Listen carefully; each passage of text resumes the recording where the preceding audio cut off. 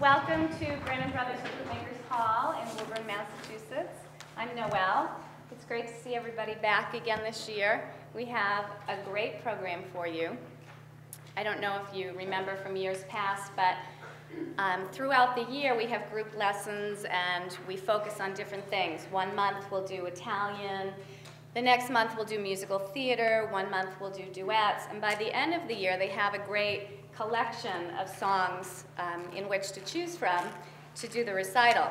Now they get to pick one piece, and I pick one piece. So you can thank me for the Italian, the German, and they've got some really, really uh, fun pieces. In fact, um, one of my students, Joelle, has really been bringing in all sorts of new shows and new things uh, that have just come out. So it's really fun for me to have the kids because they're up on the latest shows and as long as they're correctly, uh, appropriately, let them do them.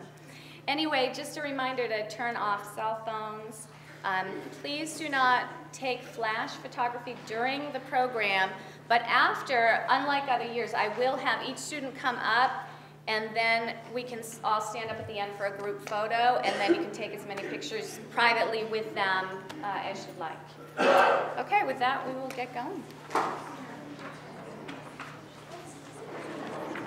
Thank you.